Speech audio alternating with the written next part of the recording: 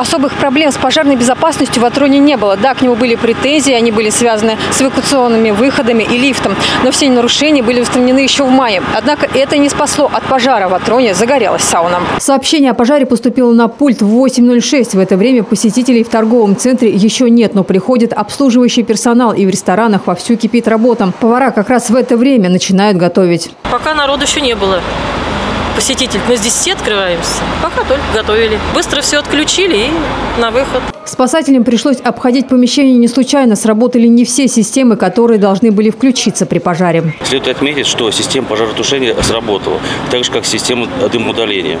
Но отмечается, что не сработала система оповещения и управления эвакуацией при пожаре.